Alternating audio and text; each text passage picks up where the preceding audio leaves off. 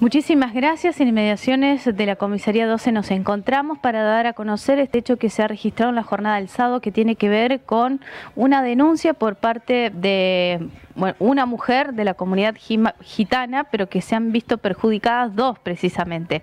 Aquí me acompaña Diego Cuevas, él es el jefe de la Comisaría 12, que va a hacer referencia sobre este hecho. Gracias por recibirnos. No, por favor, buen día.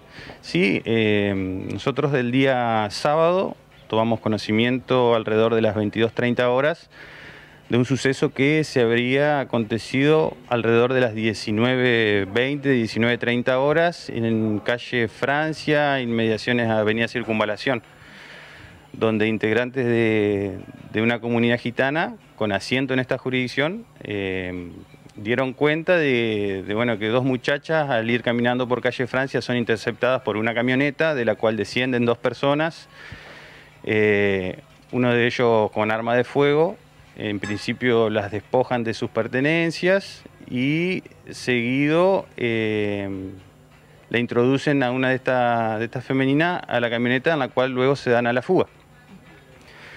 Eh, en relación a, la denuncia que se recibe, inmediatamente se pone en conocimiento las autoridades judiciales, se siguen los, los protocolos de rigor, digamos, en estos casos y con el pasar de las horas eh, se logra establecer que uno de estos masculinos que se conducía en la camioneta sería integrante de otra comunidad gitana con asiento en el departamento de Villaguay. Eh, por ende se, pone en conocimiento al personal de esa jefatura eh, quienes, ubican a la familia y luego por parte de ambas familias, digamos, los, denunciantes como la familia de Villaguay eh, confirman de que tanto la, femenina eh, y este, este masculino tenían una relación sentimental hace unos meses, que ya habían estado en comunicación con los mismos, que estaban eh,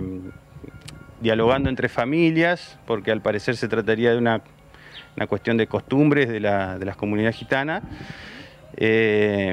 Pero de igual manera se continúa trabajando con, la participación del personal de la jefatura de Villaguay para tratar de dar eh, físicamente con la muchacha que hasta el momento no, tenemos esa confirmación. ¿Esta joven qué edad tendría? ¿Está domiciliada acá en Paraná? Eh, la, chica es de 20 años de edad y radica así acá en, en jurisdicción de esta misma comisaría. Eh, y tanto por familiares de, la chica como también familiares del, supuesto autor o sindicado en principio, eh, ambas familias eh, coinciden en, los dichos de que ambos tenían una relación sentimental, lo cual en un principio no, no se había brindado ese detalle. ¿Cómo continúa la causa? Eh, está todo judicializado, eh, se está esperando, como, como te decía, la búsqueda sigue hasta dar físicamente con, esta, con esta muchacha, la cual en principio y se supone estaría en Villaguay junto con, con quien fuera sindicado en un principio como uno de los autores. Eh, la denuncia de esta mujer que, que bueno, se transitaba con la joven que está en búsqueda, eh, ¿Qué le habrían robado? ¿Cuál habría sido la actitud?